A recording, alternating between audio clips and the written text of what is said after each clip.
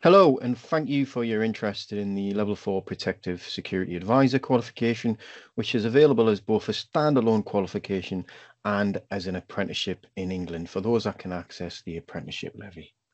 Now, why are we here? We are looking at protective security uh, where every piece matters. So, for example, you could have really, really fantastic cybersecurity, but if your personnel security is not so good, uh, personnel security being how you manage your insider risk, um, your overall security is going to be weak. Similar, if you're not treating all of the different disciplines of protective security as equals, your security will be weak. We've also included the four main disciplines of protective security within this qualification. So cybersecurity, personnel security, physical security, which looks at both forcible attack and surreptitious attack, and technical security, which looks at the the the wraparound um, to prevent information egress through technical surveillance devices, etc., or close access acquisition.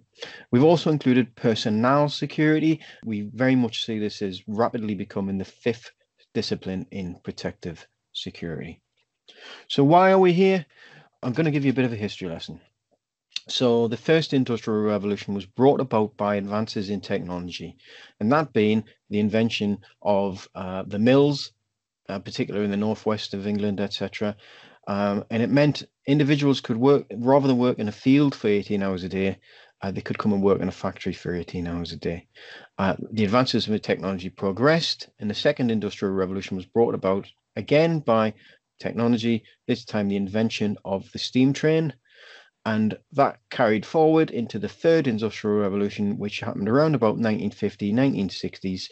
And that was the digital age, where we started to record and store information digitally uh, online, etc. The present industrial revolution which we're in or industry 4 is the fourth and this is driven by the fusion of technologies across the physical digital and biological worlds so this is the fusion of technologies and it's largely driven by the internet of things we expect by 2030 that brain computer integration will be standard um, enabling those um, with serious spinal injuries to walk again etc and we are currently progressing at pace, at rapid pace, towards the fifth industrial revolution or industry five, which is the notion of harmonious human machine collaboration.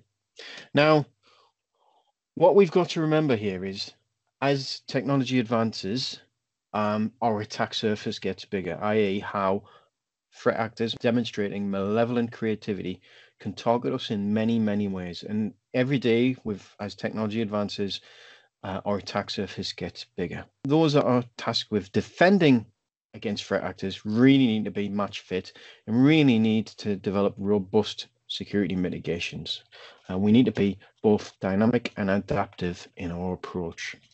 Um, what we are seeing is a lot of actual uh, security threats uh, are a blended approach or what we call a converged approach. So they may span multiple disciplines of cyber, personnel, physical, technical, or even personal security. So we really need a, a, similar approach to mitigate against those threats. Organizations are crying out they're desperate for a single overview of risk, of protective security risk, because protective security risk is actually business risk. And that's what we've got to remember here. So we've developed the two qualifications are pretty much exactly the same, just different methods of doing it, and I'll discuss that later on. But we've developed this qualification based on other uh, professions. We looked at the, the nursing profession and what you would do if you were going into nursing. You'd learn the basics of care first, etc., and then you'd go on to specialize uh, with a deep specialism in a particular subject. We've pretty much mirrored that within protective security. So we want this qualification to give individuals and delegates and complete this course the base level of competence with regards to cybersecurity, physical security, personnel security, technical security, and personal security to enable them to develop a deep specialism. Let's just say, for example, you do go on to uh, develop a deep specialism in cybersecurity, you'll understand how physical, personnel, technical, and personnel security dovetail to give you that holistic approach to security or security convergence, as we're calling it. And I have a saying, and I sound like a stuck record, uh, but what I say is you can't have cybersecurity without physical, personal, technical, and personnel security. It's as simple as that. So this is Tyson's definition of security convergence. And uh, we think this is a really good, it's a little bit clunky, but it's a really good definition. And it really speaks out around the organizational wide benefits, um, effective risk mitigation that convergence will bring, uh, enhanced effectiveness of your operations, increased efficiency and financial savings. We do a lot of work across each discipline at the moment, which is duplicated. If we can minimize that duplication of effort, certainly we're going to make us more effective and more efficient and provide financial savings moving forward. Uh, we pulled together a group to develop it. It was a collaboration of public, private sector organizations and academia. The unique selling point with this qualification is it's the first ever qualification to have not only the involvement of the three national technical authorities, that being the National Protective Security Authority, the National Cyber Security Centre, and the UK National Authority for Counter Eavesdropping, they not only contributed to this qualification, but they also going to endorse it. And that's the only qualification uh, that's ever had that so far. We will be developing future qualifications um, to support individuals in their pathway. However, at the moment, it's the only qualification endorsed by and backed by all three national technical authorities. So the module content. Um, first of all, the whole purpose of this course is to ups- either upskill existing staff, give those coming into the sector as a first career a really good grounding in what protective security is, and for also those coming in from perhaps uh, uh, through a graduate scheme, such you may have done a, a degree in criminology, etc. You come in, this actually bridges academia and uh, real life operations. So it will provide, enable you to hit the ground running. And also those coming in from a second career. So if they've come in from the police or the military, it gives you an understanding of what protective security is, how it's done properly, and will give you a fighting chance of making a good career uh, within this sector. The modules are on the right hand side of the screen there. So crime and security science, very much a contemporary subject. Um, we very much wanted this to be the very first module because it's not just um, um, telling you how to do something, it's giving you the understanding why and how to do something. So it'll enable individuals to go on and problem solve uh, within their own organizations. Legislation and governance does exactly what it says on the tin. And then we got two modules on protective security risk management, part one, part two.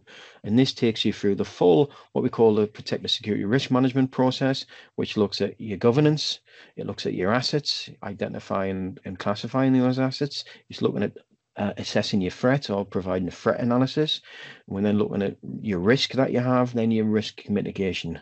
Uh, and then we go on to specialize in the uh, physical security standards and mitigations.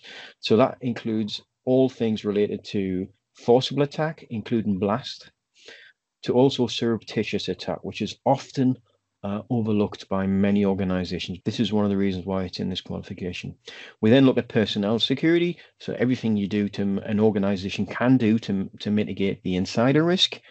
We then look at people security and culture. So that's how you would develop a, a culture, an ecosystem that is not just involving security teams, because we all know security is the responsibility of everybody. It's how you develop a culture on site to mitigate things like hostile reconnaissance, etc., and provide that natural level of uh, a natural level of surveillance across your organization and territoriality as well. Um, personal security everything uh, to do with um, keeping your employees safe or keeping you safe as an individual. Technical security covers all the ways in which um, technical security attacks can egress information out of an organization. Uh, cybersecurity does exactly what it says on the tin. Incident management to investigations. Security is a business enabler, that's a really, really interesting one because we really need individuals to be able to demonstrate their worth to an organization and the worth of security mitigations to an organization. So we can uh, this this includes things like re- return on security investment and cost benefit analysis etc so you can put a pounds or dollars to uh, the costs of um, security mitigation but also give you that return on investment how much are you going to save over the long run and finally, last but certainly not least, uh, reflection and continuous professional development.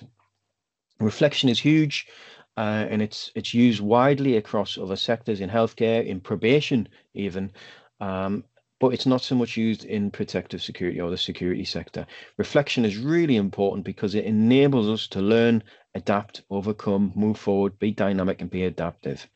And it also enables us to become more resilient individuals, which supports our organizations to become more resilient too. Um, it's a fantastic qualification, and I really wish I had this when I was starting my career. So, basically, this qualification is basic to provide a base level of competence with regards to protective security. It's a step towards security convergence. It's the ground up approach to security enabling security convergence. It will provide delegates with a pathway to undergraduate qualification. We are looking to develop a level six qualification after this. And also, it, we expect it to enhance diversity, giving people opportunities in sectors that they probably never even heard of, certainly technical security or personnel security. Um, but also, we want it to be the only barrier that we want for anybody to work in this sector is competence. That's the only barrier that we want. And we believe this qualification gives you that competence to enable you to work effectively in protective security. Uh, we want uh, we want to develop future leaders in security. We've I've mentioned those coming in as a first career, as a second career. I've mentioned about enhancing diversity, but also future-proofing security. So I was very pleased to see the World Economic Forum recommended that security management was a desirable career choice moving forward. However, I would argue that yes, it is a desirable career choice, but we need to be operating at industry four, heading towards industry five, not in our current domain, which is operating at industry three or the third industrial revolution. So this will enable individuals to move forward with that understanding of where we are and where we're heading to enable them to better mitigate the threat and risks that their organizations face. And also it's to provide a shared understanding so the public sector and the private sector can talk the same language and basically the sector as a whole can speak the same language, um, which always provides an issue um, when you see interagencies trying to work with each other, etc. So we want a shared understanding of terminology. This is a, a brilliant quote from Aline Wakefield and Button back from 2013. So security convergence is nothing new, but basically we're looking to unite the disciplines. Um, so the disciplines of cyber, personnel, physical, technical and personal security, if they're not united, our threat actors will exploit the gaps in between each discipline and prosper from that and makes our organizations weaker. Um, so security convergence looks to, to bridge those gaps and close those gaps so they can't be exploited. Um, I've mentioned the future of protective security. We very much need individuals who are dynamic and adaptive, that will push through their own comfort zones, demonstrate altruism, not only to support their organizations, but also the wider sector. We're looking to push forward with professionalism, and this is one of the first steps to that. So, what we're trying to achieve with this, we really are looking to develop individuals that can rapidly progress through protective the ranks of protective security and can become leaders in their own rights and i particularly don't like the term thought leadership i much prefer the term do leadership but this steve jobs sums us up beautifully. We really need the doers because they are the major thinkers. They work through the problems, they learn from the problems, and uh, face challenges head on and overcome them. This is what we're trying to create with this qualification. We want individuals to be able to move forward, to meet the rigor and meet the demands of not only Industry 4, but also Industry 5 in a dynamic and adaptive manner.